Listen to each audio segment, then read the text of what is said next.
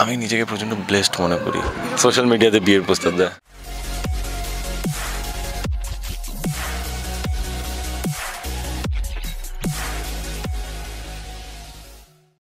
Welcome to we স্পটে আজকে আছি অনুরাগের ছোঁয়া সেটা আর আমাদের সাথে আছে সূর্য। সূর্য কেমন আছে? আমি খুব ভালো আছি তুমি বলো কেমন আছো? চলছে তার সাথে নতুন বছর পড়ে গেছে বাংলা হুম হুম হুম। বাংলা নববর্ষের দিন আমার পায়ের প্লাস্টার খুলেছে খুব ভালো কেটেছে তো সেদিনকেও ডায়েট করিনি, এমনিও আমার প্রায় দু মাস প্রায় দু মাস আমি এক্সারসাইজ করতে পারিনি। আবার আমি কাল থেকে শুরু করেছি। ডায়েট ঠিক করে হয়নি বাট খুব ভালো গেছে। হ্যাঁ নিউ ইয়ার খুব ভালো গেছে।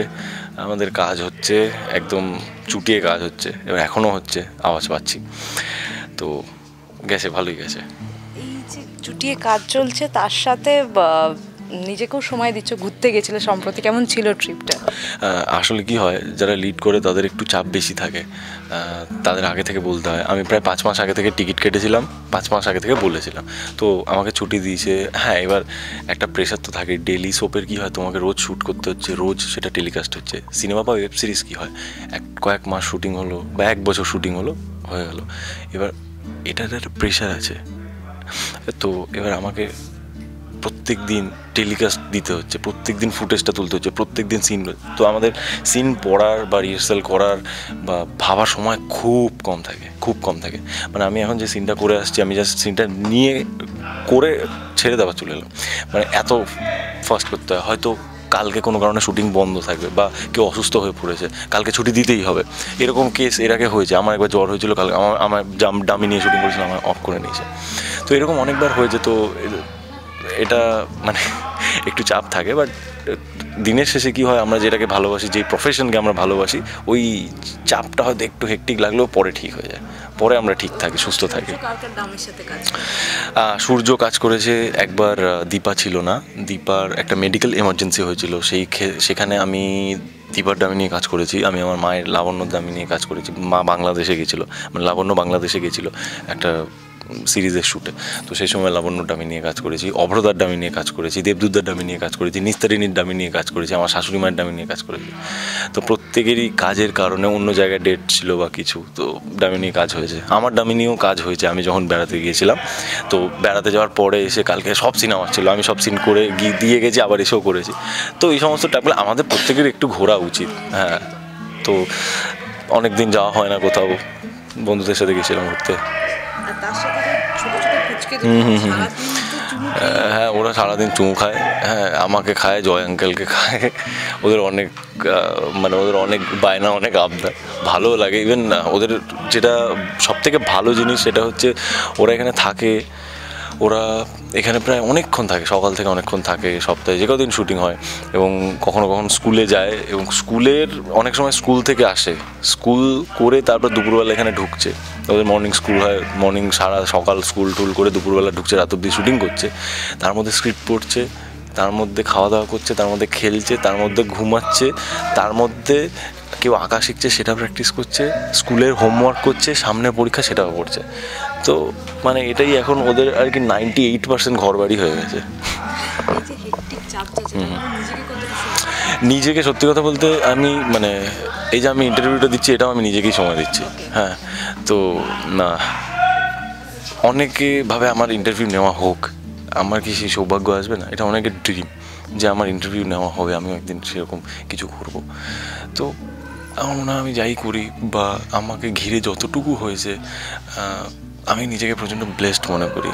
আমি মনে করি যে আমি অনেক কিছু পেয়েছি, ভগবানের থেকে পেয়েছি এবং আমি প্রচণ্ড ব্লেসড মানুষ, আমাকে এত ভালোবাসে এবং এমন এমন মানুষ যারা আছেন, আমাদের কাজ দেখেন। আমাকে তো তারা চেনেও না বা চিনতেও না, আমি মানুষ কেমন, আমি কোথায় থাকি কিছুই তারা জানে না। কিন্তু তারা নিঃস্বার্থে আমায় ভালোবাসে। তাদেরকে হয়তো আমি সবাইকে চিনি না। তো এই জিনিসগুলো অনেক বড় পাওয়া এটা হয়তো ভাগ্য করে পেয়েছি। তো এই জন্য আমি খুব ব্লেসড আর নিজেকে টাইম দেওয়া বলতে হ্যাঁ পড়াশোনা করছি ডিপ্লোমা করছি। আমি নিউট্রিশন নিয়ে পড়াশোনা করছি যেহেতু আমার ফিটনেস আমি খুব এনথুসিয়াস ফিটনেস নিয়ে পড়াশোনা করছি নিউট্রিশন নিয়ে পড়াশোনা করছি আপাতত ডিপ্লোমা করছি। এরপর ইচ্ছা আছে আরও দূর এগোনোর। এই যে বললে এত মানুষের ভালোবাসা সোশ্যাল মিডিয়া সব ক্রেজিয়েস্ট থিং তোমাকে নিয়ে কি দেখেছ? সোশ্যাল মিডিয়াতে ক্রেজিয়েস্ট থিং সোশ্যাল মিডিয়াতে ক্রেজিয়েস্ট থিং সব থেকে এই রে মনে পড়ছে না। মানে ম্যাক্সিমাম জিনিসই খুব ক্রেজি ক্রেজি হয়। তার মধ্যে একটা যদি বলতে হয় আমাকে অনেকে বিয়ের প্রস্তাব দেয়। সোশ্যাল মিডিয়াতে বিয়ের প্রস্তাব দেয় হ্যাঁ। হ্যাঁ, না, আমি ভাবি যে মাঝে মাঝে হা- মানে মাঝে মাঝে প্রথম প্রথম মজা লাগতো বাট মাঝে মাঝে ভাবি যে হ্যাঁ কেউ আমাকে ভালোবাসার কথা যদি বলে থাকে আমার হয়তো তার প্রতি ভালোবাসা নাও থাকতে পারে। এর মানে কিন্তু আমি তার সেই ফিলিংসটাকে সবসময় রেসপেক্ট করি। মানে আরও তো অনেকে আছে, হয়তো দশটা ছেলের মধ্যে পাঁচটা ছেলেকে বলছে, সেই পাঁচটার মধ্যে আমি একজন আছি। তো সেক্ষেত্রে আমি খুবই ব্লেসড দর্শকদের ভালোবাসায়, অপুরন্ত ভালোবাসায়, আমাদের দর্শকের অনুরাগের ছোঁয়ায় আমরা পুরো পরিপূর্ণ। তার জন্য দেখেছেন আমাদের একটা শর্ট কাট হলো আওয়াজটা শুনলে? একটা শর্ট কেটেছে সব হেই করে। এটাই হয়। মানে আমরা না মানে একে অপরের প্রতি এখানে প্রত্যেকে প্রত্যেকের প্রতি এত বেশি ইনক্লাইন না যারা ক্যামেরার অপোজিট আর আমাদের কি আর্টিস্ট তো ক্যামেরার সামনে যারা আছি তো তাদের থেকেও বেশি সংখ্যায় হচ্ছে ক্যামেরার ওপারে যারা কাজ করছে। তা আর ওপর লেভেলে যারা এডিটে কাজ করছে ওখানে ইপি থেকে কাজ করছে। তা আমাদের না প্রত্যেকের মধ্যে একটা খুব ভালো একটা কি বলব ওটাকে? মানে একটা মেলবন্ধন আছে যেটা সবসময় কাজ করে। আমরা কোন টপিকে কথা বলছিলাম? হ্যাঁ দর্শকদের যেটা বলছে হ্যাঁ প্যাক হ্যাঁ সবাই চিল্লাচ্ছে প্যাক আপ হবে এক্ষুনি। তো। হ্যাঁ এ বাবা এই একটা শর্ট কাটলি এরকম হতে থাকে হই হুল্লোড় হই হুল্লোড় নাচা। নাচি আমার তো পা ভেঙেছে নাহলে আমিও নাচানাচি করতাম। যাই হোক তো দর্শকদের ভালোবাসা আপনাদের আশীর্বাদ ভালোবাসা প্রেম অনুরাগের ছোঁয়ার প্রতি আনকন্ডিশনাল লাভ আমরা পুরো ভরে গেছি এবং থ্যাংক ইউ সো মাচ আমাদের এভাবে সাপোর্ট করতে থাকুন। আপনাদের জন্য না আরও একটা সারপ্রাইজ আছে ওটা আমাকে এখনই বলার পারমিশন নেই।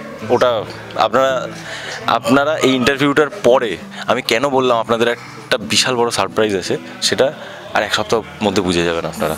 ওটা অফিসিয়ালি আমি অ্যানাউন্স করতে পারব না। সারপ্রাইজ আসছে নতুন চমক আসছে। হেভি খুশি হবেন আপনারা।